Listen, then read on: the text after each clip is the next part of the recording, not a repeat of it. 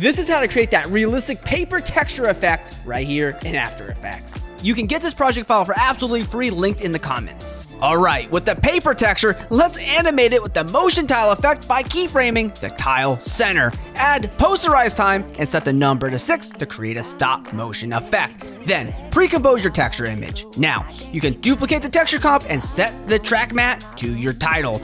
On the matted texture, use the curves effect to reveal your title or graphic. On your title layer, try using the roughen edges effect by setting the edge sharpness to 10 and decrease the scale. Lastly, you can alt click the stopwatch for evolution and try time asterisk 500 to animate those roughened edges. Now for some good stuff, create an adjustment layer by using the brightness and contrast effect and add the wiggle 10, 50 expression to the brightness for a flicker. You can also try animating say the invert effect for that extra black and white punch. And for the ultimate punch, get this gray mat that I'm using for this project to create your ultimate paper texture. And create ultimate After Effects in Premiere Pro, work with my free templates, seamless transitions, and motion graphics with the link on this video.